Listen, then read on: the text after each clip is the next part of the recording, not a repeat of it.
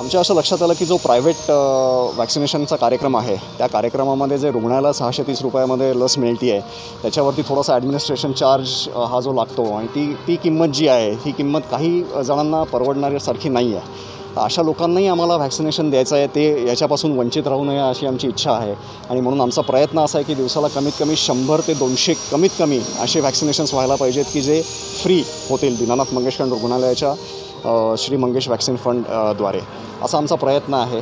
तर मी आव्हान करतो की अशा सगळ्या लोकांना ज्यांना असं वाटतं की त्यांनी इथे येऊन फ्रीमध्ये त्यांना लस घ्यायची आहे तर त्यांनी कृपया आमच्या बालशिक्षण मंदिर मयूर कॉलनीच्या सेंटरला यावं.